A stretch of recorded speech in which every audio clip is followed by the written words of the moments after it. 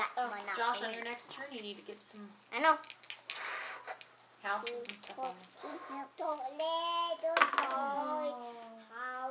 Seven. Six, six, seven. One, two, three, four, five, six, seven. Ha ha. Good. Chance. So now you passed go. So what do you say to grandfather? That is not Grandfather, chance. let us have two hundred dollars. Good. Your card says received for services twenty five dollars. Oh, there Ooh, someone's having a wedding. Um, a guy and a girl are having a wedding, and guy and the guy's holding out his hand. Give me some money. Give me some money. Yeah, that's funny. Uh,